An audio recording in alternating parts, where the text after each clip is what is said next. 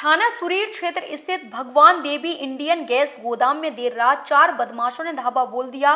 गोदाम में एक बच्चे के साथ रह रही महिला को बदमाशों ने घायल कर दिया और गैस गोदाम से भरे हुए सत्तावन सिलेंडर चोरी कर बदमाश फरार हो गए।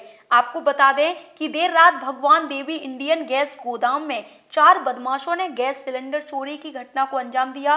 गोदाम में सो रही एक महिला द्वारा चोरों का विरोध किया गया। तो बदमाशों ने महिला के साथ मारपीट की। महिला को घायल कर बदमाश गैस गोदाम से सत्तावन भरे हुए गैस सिलेंडर लेकर फरार हो गए।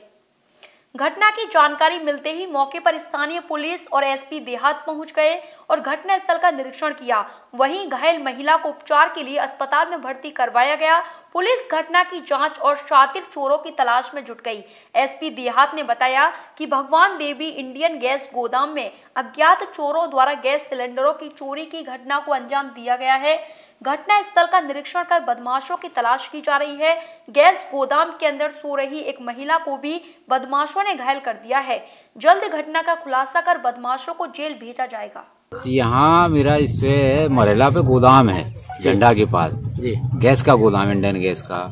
तो आज रात में मेरे चौकीदार एक तो हमारे जो वो थे महावीर सिंह स्वर्गीय महावीर सिंह उनकी पत्नी और उनका एक बेटा पंद्रह साल का वो यहाँ सो रहे थे।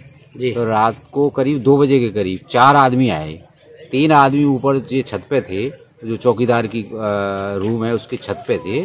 तो चार आदमी ऊपर छत, तीन आदमी ऊपर छत पे चढ़ गए और उन लोगों को पकड़ लिया और उनके जो महावीर सिंह की जो पत्नी है, उनके मुँह पे हाँ गंभीर चोटें आई हैं, उनके चोट वोट भी दिए क्योंकि उन्होंने आवाज़ देने की कोशिश की होगी, इसलिए उनको आवाज़ नहीं देने दी।